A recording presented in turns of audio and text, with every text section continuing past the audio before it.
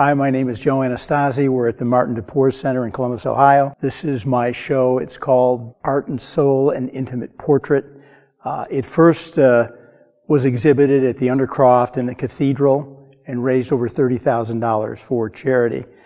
Um, I originally started working with the homeless people through the St. Vincent de Paul Society at St. Agatha Church in Upper Arlington at open shelter dinners and also later on at St. Lawrence Haven. Uh, met many of these people, got to know them. I would kid with them. I would talk to them. They told me about their families. And I realized these people had an incredible dignity and a spirit that I did not realize they had. When you think of homeless people, you think of alcoholics or whatever they might be. But I found not only wonderful faces and wonderful expressions on these people, but a wonderful spirit in these people. And I felt that if I could capture the spirit of these people in my art, then the paintings wouldn't be just portraits of homeless people. They would become meaningful. And so I started to do art and paintings. I had worked with them five or six years. Some of them were friends of mine. I started to do paintings of these people and I tried to capture the spirit of these people in those paintings. Every one of these people has a story. And when you think about it, you and I are only two or three decisions away from being on the streets. But Teddy worked with, I worked with Teddy at uh, St. Lawrence Haven. And Teddy's recovering alcoholic. And uh, we had to let Teddy go because he, he started drinking again. But um, uh, the newspaper had called him when they did an article. The Columbus Dispatch had done an article on me.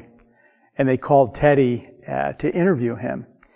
And he said, most pe- people think of me as an old drunk. He said, Joe painted the real me. He said, that's me. Teddy and I were at St. Lawrence Haven one day and I was walking behind him and Teddy's a big man and he has very large feet. And I said, Teddy, how big are your shoes?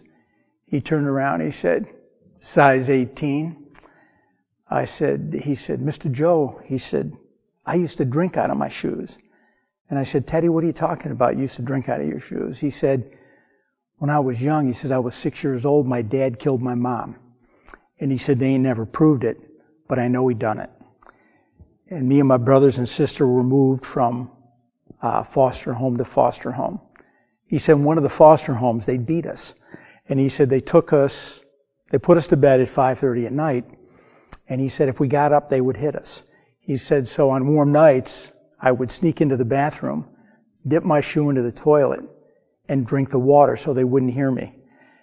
And I was shocked at that, but I said, oh my goodness. This is just one story. Most of these people, I virtually all of them, come from dysfunctional families. Um, there's alcoholism, there's prostitution, there's uh, drugs, there's so many different things. But Teddy is just one story. And many times you ask, why are you here? Why did this happen? How did you get here? And then you hear the stories about their, their childhood and so forth. And you realize that it's a generational thing and it's the hardest thing to break. And, um, uh, as I said, uh, we work with another program called the Brian Muha Foundation, Rachel Muha's program. And she works with inner city kids. And with over 300 kids in her program, not one child is with both biological parents all of those kids come from dysfunctional families. And you can see it in these adults. When I first came across uh, this man, it was in an open shelter dinner. And he had kind of an arrogant look about him, like the, the bird that, uh, or the cat that swallowed the canary, uh, almost as if I know something you don't. Well, I did the painting and it was hanging in the show in the cathedral. And after Mass one day, it was a, a noon Mass on Sunday, and I happened to be in the Undercroft at the time. A small woman came down. She was French. And she was looking at the art. She had gone to Mass. And she came over to this painting and she pointed to it and she said, That's my brother Johnny. And she started to cry. And there were about 20 people in the room and it, you could hear a pin drop. It was dead silent in that room. And she just, she hugged me, started hugging me and she was sobbing and she said, Johnny's a drug addict, and we think he's living on the streets of Steubenville right now. And she said, That's the look, the look that you captured in his face. That's how he looks at you. And she told me that his older brother Jimmy was a drug addict. And the last time they saw Jimmy was with a drug dealer. and he owed the dealer a lot of money. Jimmy was murdered, but the, the murder was never solved. And she said, the police don't care about junkies, they're expendable. And she feels this, this drug dealer murdered Jimmy. And so when that happened, Johnny got into drugs and started living on the streets. So those lives were both, first one was murdered, Johnny's life was destroyed because of it. And as I said, why does this happen? You know, there are reasons, you know, when you know their stories. This was, this is really the, the, the image of the, the show, Art and Soul, an intimate portrait. Um, this is the first painting that I did. Uh, I had gone to an open shelter dinner, and after dinner I stood up and I said, I'd like to do paintings of you people, some art. I'd like to do sketches and photography. And people were lined up. They had me take photos of them. Well, I had a photograph of, of him or a few photographs of him and I started to do this painting and this was the first painting I did and it, this man had a dignified look with a white rosary around his neck and uh, it started this whole concept of art and soul and it was a sign to me uh, that this was God's will that I do this work. And so I named this painting, She's My Mother Too. But there was a dignity, there's a dignity about these people that uh, you just don't realize until you're with them day in and day out. And I tried to capture that dignity in, in all of these paintings, but especially in this painting. Greek is a, is a friend of mine, and I had wanted to do a painting. He's a handsome man with a very black beard, a very strong Greek accent. And uh, he calls me Anastasi, and he, I can't say his name, so he wants me to call him Greek. But anyway, I did a painting of him. It was a fairly small painting, and I said, uh, "You want to see your painting?" And he said, "Yeah, I'd love to see it." So I brought it to the open shelter, an open shelter dinner, and he said, "I want to buy the painting." I said, "You can't buy the painting." I said, "Where are you going to get the money?" He said, "I'll give you five hundred dollars for that painting." And I said, "Where are you going to get five hundred dollars?" He said, "I'll get it. I want the painting." I said, "I'll tell you what. I can't sell you the painting. It's going to be in a show, but I will do a pencil drawing of you later." And he hugged me.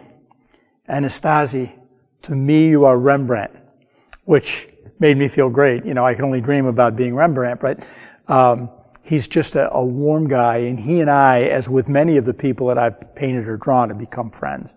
And uh, I've met some wonderful people on the streets. It's changed me, um, and hopefully, these paintings and these drawings will change the people that see it. When you when you think about these people in generalities or in, an, in the abstract, it's very easy to dismiss. There are 700 people living on our streets. 30% of them are mentally ill, so many alcoholics or whatever. But when you get to know these people personally, it becomes personal. All of a sudden there's a face and they had a family. And it's often said with St. Vincent de Paul that we see the face of Jesus in those that we serve. And at first I thought that was a very nice thing to say, but it wasn't very realistic until I really started to do these paintings. And once I did, this became literally true for me in the sense that you can see the face of Jesus in, the, in these portraits. And these portraits have touched many people. But you can see his pain, his suffering, his joy, his dignity, his strength, his weakness. All of those things are in the faces of these people. In doing this work, it changed me. And I'm hoping that this show will change you when you see it.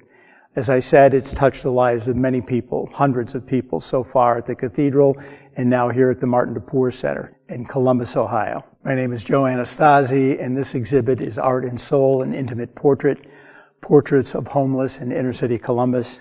And I hope you come to see the show.